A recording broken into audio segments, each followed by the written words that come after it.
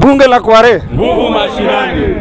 Haya, mimi naitwa Moses Chairman, ni chairman wa vijana wa Kware, na tuko na maneno mawili matatu na hii serikali ya Ruto. Kwanza, Ruto alituahidi akichukua Biblia hivi aweke chini, gharama ya maisha itashuka. Gharama imeshuka ama haijashuka? Ijashuka. Sasa tunaambia Ruto na gacheta yake huyo. Juzi nimesikia wakisema ati yo hawana pesa, waling'ang'ania uongozi wakijua wanaweza ama hawawezi. Hawawezi, wameshindwa. wawachie baba na mama waendeleshe kazi yao. aende nyumbani. Eh. Haya, ya pili, gharama ya maisha imepanda. Watoto wetu, wa- watoto wetu wako kwa nyumba hawaendi shule eh.